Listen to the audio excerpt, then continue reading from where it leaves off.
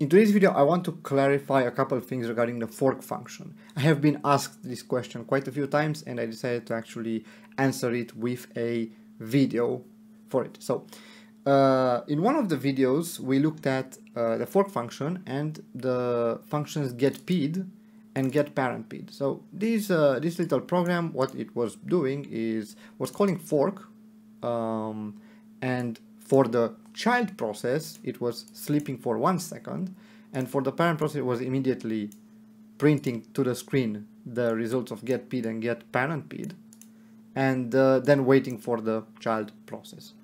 Um, and if we run this, all right, we're gonna get, of course, two lines here, simply because both the child process and the parent process actually execute this line of code. So they both get printed on the screen the their current process ID and their parent's process ID, of course. And here in the end, one of them prints no children to wait for because one of the process is the child process and the other one is uh, the parent process which has to wait for that uh, child process, right? So th this makes sense. Um, now, the clarification that I want to make here is regarding really this part of the code. A lot of people have uh, asked me why, why in this case the child process had the ID of 0 and then after it printed uh, this line it printed a number different than 0. Why was it 11,000 and whatnot? Because before it was 0 of course.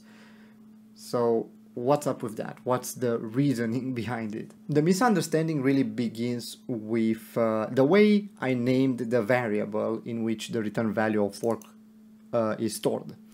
Uh, I called it ID and I named it so because I said, okay, it's the process ID. Um, but this is a bit wrong because you would think that, oh, this is the current process ID. So that means that we're checking if the ID is zero. And of course, for all child processes the ID is zero. So that's what you started to have in mind. But this is actually wrong because here fork does not return the current process ID. Okay, it returns something different and it does return uh, two values. Okay, because simply because fork, you know, splits the execution of a process, it has to return two different values and we're going to discuss what exactly fork returns in this case. So what does fork actually return? So here, first things first, we have the parent process, right? This is our first line of execution. And inside, so inside uh, the parent process, we are returning the child process ID, right? So the, the child process ID, so the child process that has been created after uh, fork, after the fork function has been called, um, we are returning it inside this ID variable. Great, so we have a process ID, but remember, this is inside the parent process. So we are inside the parent process, and inside the ID variable, right, we have the child's process ID. It's not our own. We have our own parent process ID, right? So if you call uh, if you take a look at, I, at the value of id and you call get pid on uh, on the parent process, it's going to be different. So it's going to be different than get pid. Okay, great. Now what happens inside the child uh, process line of execution? So this is inside child process.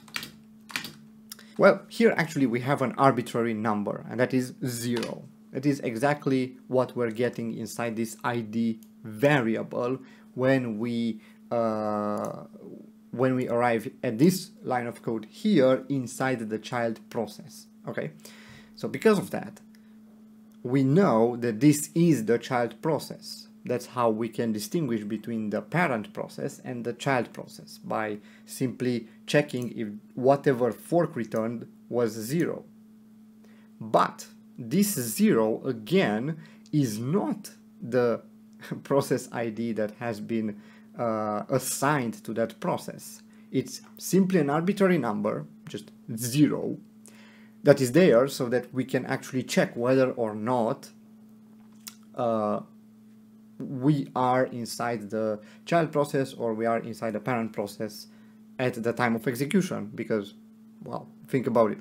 If this was not zero or was some arbitrary number randomly assigned how are we going to check if we are in the parent process or in the child process? So that's what that zero is about and I'm going to note this again to say here that yes it is going to be different than the get pid return value that we're going to get if we call get pid on this right so of course it's going to be different and I, I am going to showcase uh, the value of ID here. So returned, let's say something like returned by fork was this.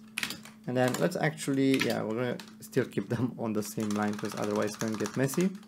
I'm gonna print out the ID. And now if I launch this, you will notice that um, the value returned by fork, so this is inside the parent process, I know because the whatever was returned was not zero, it was 14,687. Now, that's important to note because inside the child process, as you can see, we're returning zero, but its process ID is actually 14,687, which is what we got here inside the parent process. Okay, and then of course you can check that it is indeed the child process by looking at the parent ID. So here the parent is 14,681 and of course the current ID for our parent process is 14,681. Alright, I hope this was useful in clearing this misunderstanding that you might have had regarding this value of zero and process IDs. And uh, if you do have any questions, leave them down in the comments below or on our Discord server. Alright, take care. Bye.